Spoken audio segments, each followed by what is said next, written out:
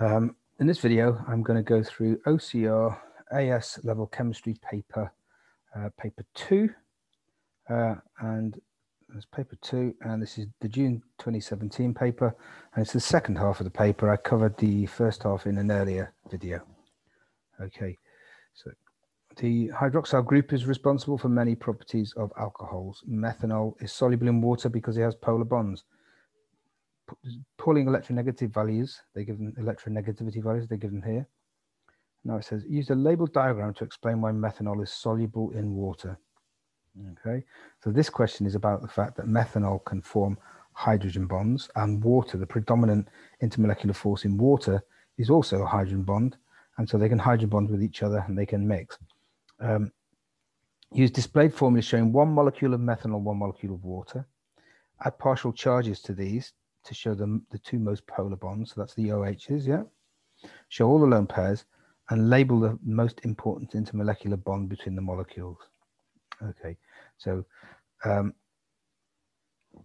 right. So we're going to say first of all, um, methanol is soluble in water because um, methanol can form H bonds, and water can also form H bonds. So they can form H bonds with each other. So let's say that first of all. Right. Um, why can't they form H bonds? I think they've given us this, they, this, so we should, just in case this is in the mark scheme, we should make a nod to this. We should say that um, the uh, the OH bond is very polar because there's a big electronegativity different negativity difference between oxygen and hydrogen. Oxygen is a lot more electronegative, and hydrogen will have a partial positive charge in it and that hydrogen because it's it's only got one electron and it's sort of losing most of it that's going to be that's how it can form a hydrogen. It can interact with a lone pair on another atom. Okay. Right. So let's draw our water molecule and our methanol molecule. Draw it down here.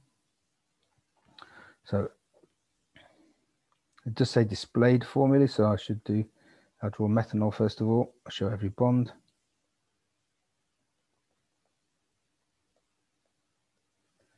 Right. Now we have got uh, two lone pairs on the oxygen, acidural lone pairs. The dipole, well, we've got a partial negative charge on the oxygen, partial positive charge on the hydrogen. And this hydrogen is going to interact, I'm going to draw this is the hydrogen bond. This is attracted to a lone pair uh, on a water molecule. Oxygen always has two lone pairs and two bond pairs, so I've drawn them both there. And let's draw the partial charges on there. So delta positive, delta positive, and delta negative. Um, and label the most important intermolecular bond between the molecules. Well, it's this here, which is the hydrogen bond. That's the intermolecular force. Your hydrogen bond should be quite a bit longer than the covalent bonds. They're a lot weaker, so they're a lot longer. See my the way I've drawn it there is a lot longer. Okay, that will be all you need for four marks there. Alcohol C is analyzed using mass spectroscopy, spectrometry. Give the systematic name of C. Right, so we're going to label the longest carbon chain. Uh, so that's one, two, three, four. So uh, that's going to be butane 2-ol. Uh, I've labeled it one, two, three, four rather than the other way around because that will give us the smallest number for the functional group. So the red, red numbers would be wrong. Blue numbering is correct. And we've also got a methyl group here on carbon atom number three. So it is 3-methyl butane 2-ol. The mass spectrum of the alcohol C is, shown below. Right, that was taken out for copyright reasons. You may have seen that, so I had to get another one here. So this will look a bit different to a normal OCR mass spectrum, but it should be the same. Right, so write the structural formula of the ions responsible for peak X and Y. Now, right, let's think about our alcohol, 3-methyl butane 2 Well, what's going to be the formula of that? It's going to be, we've got five carbons, so it's C5. We've got four in the butane and got one in the methyl. It's saturated, so it's going to be H12, not 2N plus 2 and you've got an oxygen there. So that is our molecular formula. Um, and, and the reason why I'm doing that, of course, is to see if Y is probably the molecular ion. Okay, so we've got C5H12O, right? The MR of that, if you add all that up, is 88. And Y we can see is at 88 there. You can just see that number there. So that, that one is quite straightforward. The, the response, the peak responsible for Y is um, C5H12. Okay. Now, X is this big peak here, which is at 45. It's got an MZ of 45. Uh, we've got to try and see what fragment would give us a, a an MR of 45. So if I just write down the structure, 2-methyl butane 1-ol here, butane 2-ol, sorry. I've got CH3 there.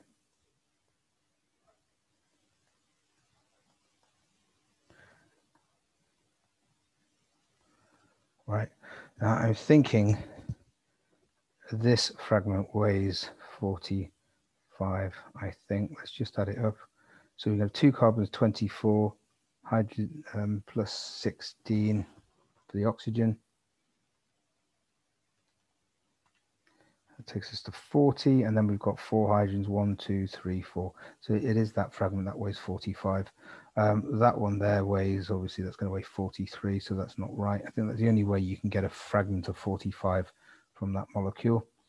Right, so the, the um, we need to write uh, the the, the, the one responsible for peak X then. Right, so I'll just write that down like that. Put a positive charge on that carbon. Sorry, this should be an OH here, not an H. Right, now it says structural formulae, doesn't it, for both ions? So really, I shouldn't just leave like that for my for Y. I should write down the structural formulae I should write down, let's do it for Y. Just draw the structure of methyl, 2-methyl butane 2-ol with a positive charge on it somewhere. So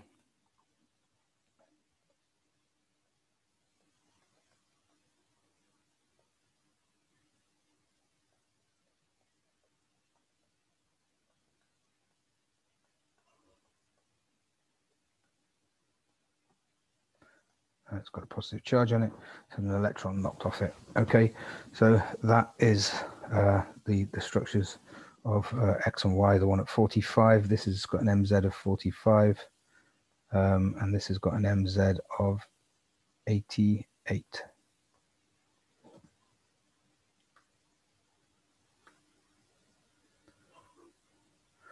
Okay, describe the oxidation reactions of butane 1-ol. Okay, forming an aldehyde and a carboxylic acid.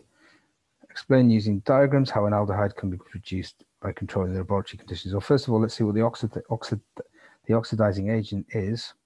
Potassium dichromate solution. And it needs to be acidified with some sulfuric acid. Right. Um, that's how you oxidize it. You do need to, um, you need heat uh, in order for that reaction to occur. Let's write down the equations. Okay, so you've got butane 1-ol.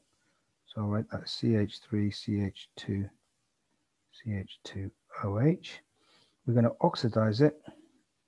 Now, when we, in organic chemistry, when we show oxidation, we don't, uh, we just show the, the oxygen from the oxidizing agent like that in a square bracket.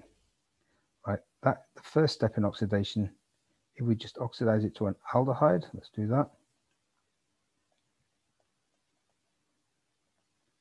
So we can see there we have lost, um, I've written the formula down wrong there, sorry, CH2OH.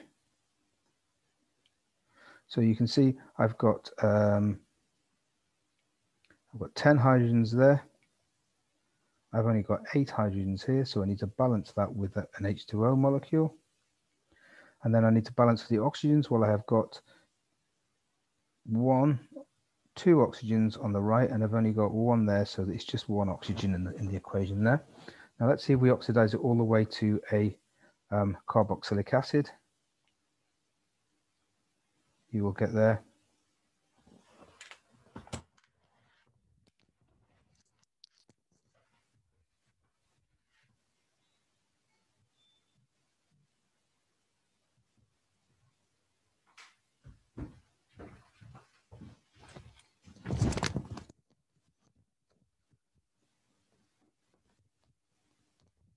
You're going to get, um, let's oxidize it all the way to carboxylic acid. So we get CH3,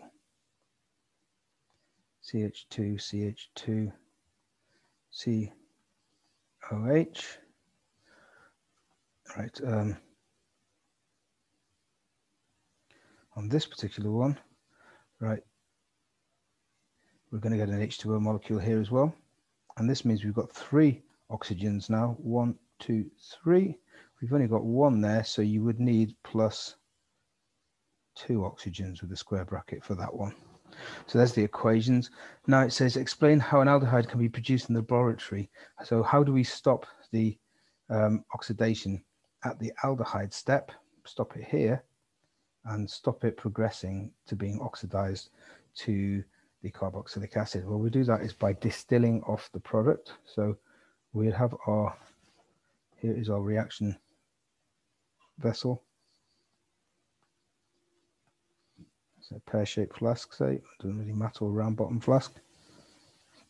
And in there we've got our alcohol, butanol, and we've got the potassium dichromate, and we've got acid, sulfuric acid. Uh, we're going to connect that up to a condenser.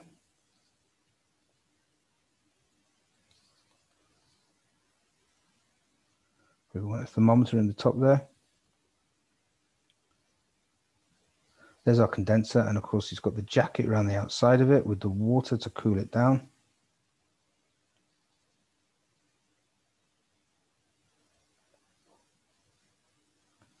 We should put the water in at the bottom and the water comes out at the top there. Uh, we've got a thermometer. Uh, we're going to collect our aldehyde here. Okay, now the way this works is because um, when the when the alcohol gets oxidized to an aldehyde, the aldehyde is is got a considerably lower boiling point than the alcohol or the carboxylic acid. Uh, so you're going to get al- the aldehyde is going to go in there, and then it will condense into a vapor. No, it's when it condenses, it drips away. It can't go back in to the oxidizing agent into there.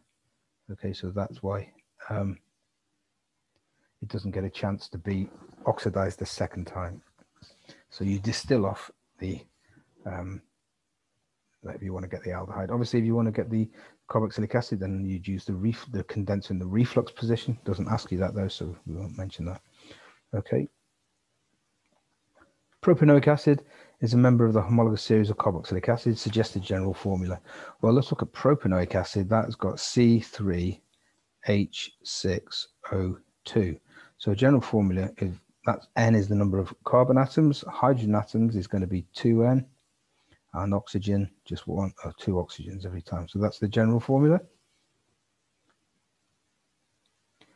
And here's the displayed formula for propanoic acid.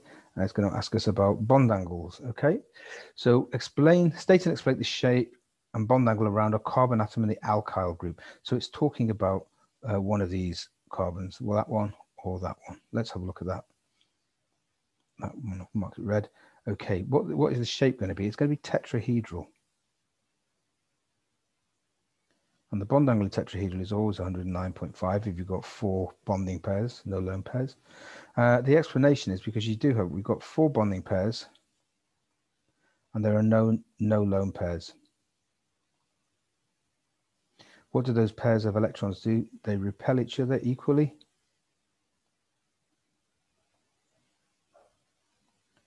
To try and get as far away from each other as possible and they and in doing so you end up with a bond angle of 109.5 now the next question is going to ask us i think about the bond angle between right suggest a value for the coh bond angle okay? Right let's have a look at that. And it's only one mark so we just have to suggest you don't have to do any explaining. But you have right what have you got on the coh this bond angle here? Well you've got two lone pairs on the oxygen so that means that the bond angle would be 104.5, like in water, okay? That's all you need to write as the answer. But just to explain that a little bit, you've got two bond pairs and you've got two lone pairs around this oxygen, okay? And um, so the uh, you're going to end up with a, a lone pair there, a lone pair there, and a bond pair, and a bond pair. They, they will sort of be arranged tetrahedrally, those pairs of electrons, but that bond angle will not be 109.5, be a lot smaller, be 104.5, because you get more repulsion between the lone pairs and the bond pairs and a big repulsion between the two lone pairs because the difference in shape of the lone pairs, they're more kind of bulbous, they're not stretched out as much. Okay, all, all you have to write down is write the number for that answer, 104.5. Okay, compound D, again, right, there's a spectra here, which was in the paper, which has been removed on their website. So I put one in, which is very similar, more or less the same. Compound D is a neutral compound, which is a structural isomer of propanoic acid. So in other words, it's got, it's C3H6O2, but it does not contain a carboxylic acid group because it, is, it says it's neutral. So it doesn't have that group in there. Okay, well, let's have a little think about what, before we look at the spectrum, let's just think about possibilities. Uh, it asks us to give us, suggest two structures for that. Right, so you have got C3H6O2. Right, you can tell from the carbon to hydrogen ratio that it must contain a double bond and it can either contain a carbon-carbon double bond or it contain a carbon-oxygen double bond. Okay, now if it contains um, either of those, it's got oxygens. The oxygens must really form OH groups. Okay, there must be an OH group there. So we, we, we've got to start thinking about looking for uh, these sort of bonds, signals of these bonds in the infrared spectrum.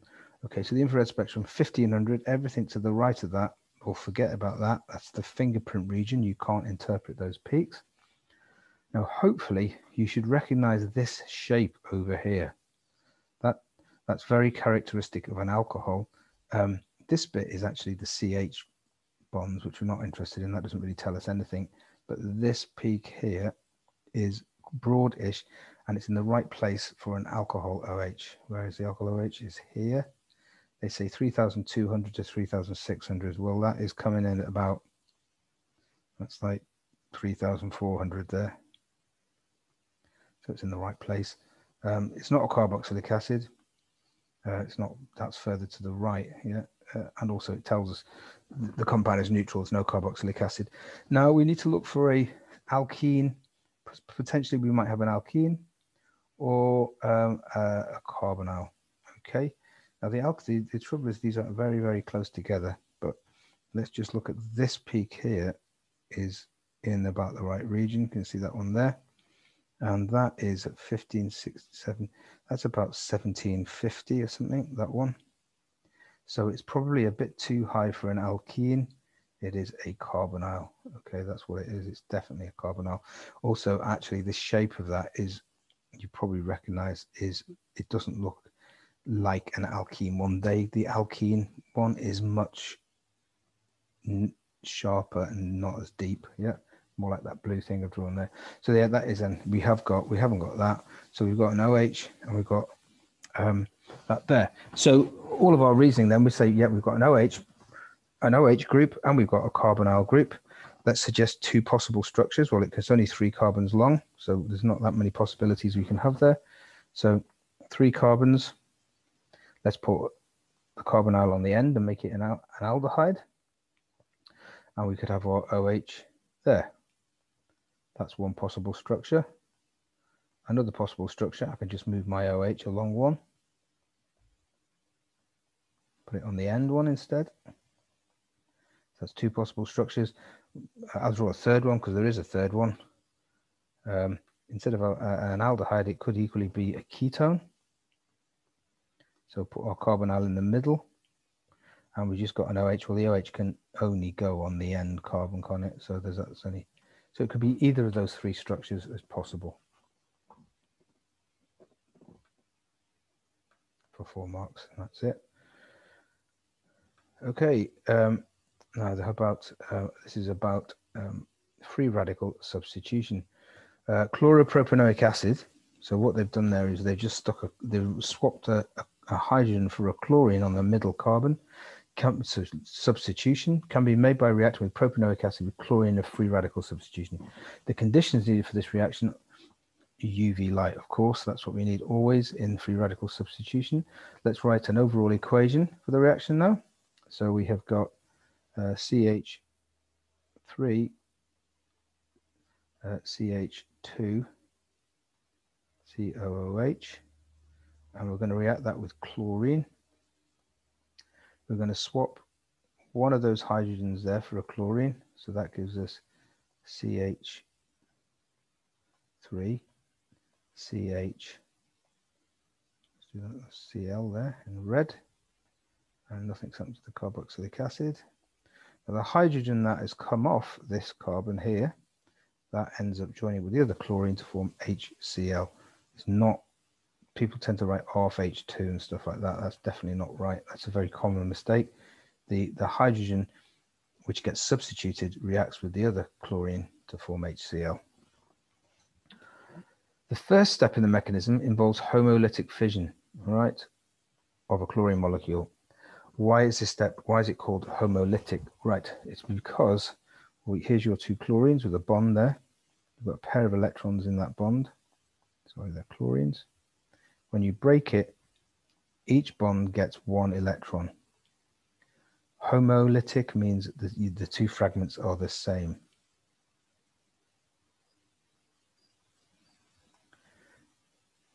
it's the same. Heterolytic, of course, you'd, you'd end up with a Cl plus and a Cl minus. That's where one of the chlorines gets both of the electrons. That doesn't happen. Homolytic, each chlorine gets one electron and you get two identical fragments. Okay, write two equations to show the propagation steps in the mechanism for this reaction. Okay, let's do that then. So we start off with here is our, I think I'll draw this displayed as well. Okay, so we're going to have propanoic acid.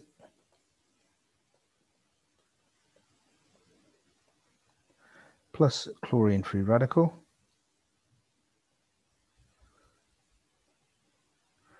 That's going to take off uh, one of those hydrogens, so it's going to form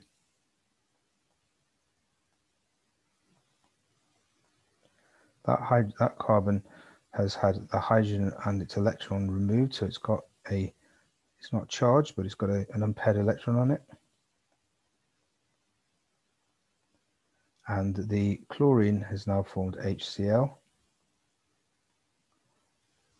Okay, that's the first propagation step. And the second propagation step, this free radical, I'm running out of space here. So this free radical I'll draw it over here. That reacts with another chlorine molecule.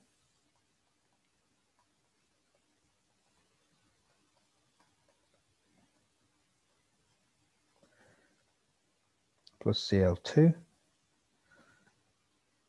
and that will form the product. So we've now got chlorine attached to the middle carbon. It's no longer a free radical. do the chlorine in red and it's generated another chlorine free radical that's why it's propagation because it leads to the production of another another radical okay that is our two propagation steps then yeah. Right. Draw the displayed formula of the radical formed in the first propagation step. Well i've done that. That is that thing there. I've already done that. Okay Further substitutions forms a mixture of organic products. Okay, draw the structure of an organic product formed from two chloropropanoic acid by further substitution. So all we've got to do is we just got to we can substitute any of these other hydrogens for for chlorine. Okay, so you can do anything there. So let's just say uh, any. I'll just draw one because there's a lot of different ones you could draw. Let's say we have now got a chlorine on that one as well on the end one, as well as the chlorine there.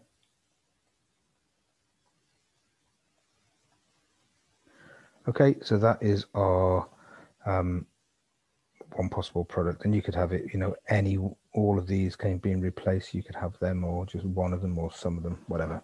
Okay. They're all acceptable.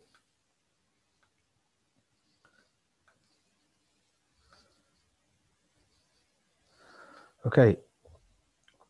This one now, organic synthesis. Organic compounds can be prepared in the lab using, using synthetic routes with two or more stages. A student devises a two-stage synthesis of cyclohexene from bromocyclohexane, okay? Now, how could we do that? Okay, so I think the, so if you add NaOH to that, what you're going to do is you're going to, you're going to get nucleophilic substitution. You're going to swap that bromine for an OH. So um, what you're going to get is uh, cyclohexanol Uh, now, the conditions for step two, or what's happened in step two, we have done, we've removed this OH and a hydrogen from that carbon there. And in doing so, we formed a double bond and we've made water. So it is dehydration. And if you remember the conditions for dehydration, you need to heat with conc sulfuric acid. You reflux it.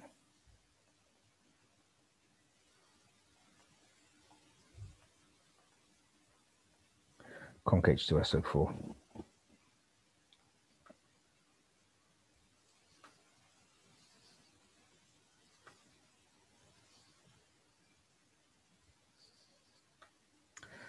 Okay, uh, that's the gradient conditions. Heat with reflux, conc sulfuric acid. Now, this is going to be a percentage yield. A student carries out this synthesis and obtains 1.23 grams of pure cyclohexane from 5 grams of bromocyclohexane calculate the percentage yield. Okay, so let's just write down the overall equation. So we're going to get uh, bromocyclohexane goes to cyclohexene. So it's one mole of that gives us one mole of product. Let's write down the MRs of those two things. That would be useful. Okay, so the MR, this one is C6. H11BR. Okay, um, so that's an MR of 162.9. This one is C6H, not 12, but 10. Remember that yeah, you lose, well, every time you form a double bond, you lose two hydrogens. And also if it's cyclic, you lose two hydrogens. You know, when I say lose two hydrogens, you, I mean, if it's saturated, it would have, you know, if it was hexane, it would be 14 carbons. Hexene, it would be 12, but cyclohexene is 10. Yeah, okay.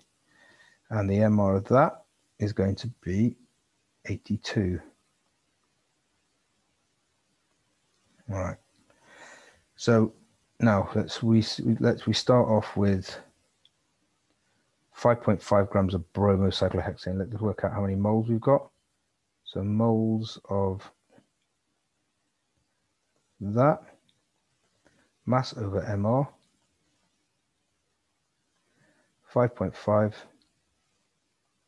over 162.9 that gives us 0.0337 moles. Now one mole of of this gives us one mole of the product. So the number of moles of cyclohexene we should get is the same Write that here. Some moles.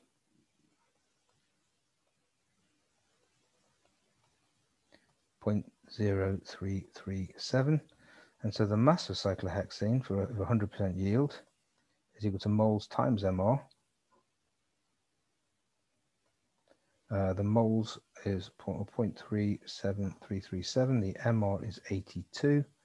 That should give us 100% yield um, of 2.76 grams. Right, but you get 1.23 grams. That's all you get. So percentage yield then is going to be the ex is the actual amount you get 1.23 grams divided by the expected 2.76 multiplied by 100 which gives us 44.5 percent. I'm giving it to three significant figures because all our data is given to three significant figures. So our answer should be given to that as well. Okay. Okay, cyclohexene is reacted with bromine to prepare the organic compound F. Give the structure of F and outline the mechanism for the reaction. So let's think what kind of reaction are we going to get here. So we've got our cyclohexene and here's our Br2. Now Br2, you remember you get an electrophilic addition reaction. Now there's no permanent dipole on this bromine molecule but you get an induced dipole that will be delta positive and that will be delta negative. The reason because the nearest bromine is nearest to this double bond, which has got high electron density. So that pushes the electrons in the molecule down to the right hand side, makes the left hand bromine slightly partially positive. Now, uh, do, let's do the curly arrows. The pi electrons jump from the pi bond onto the bromine and form a, a bond there and that means this pair of electrons has got to break up away uh, and, and the other bromine takes them. Right, so the intermediate is going to look like this. The bromine is now forming a bond to that carbon. Uh, this carbon has uh, is got a positive charge in it. That's a carbocation. And we've got a Br minus ion from the splitting of the of the bromine molecule. Right, that's got three lone, four lone pairs in it. I'll just draw one, and that lone pair is going to go from there onto the carbon with a positive charge, and it will give us the product.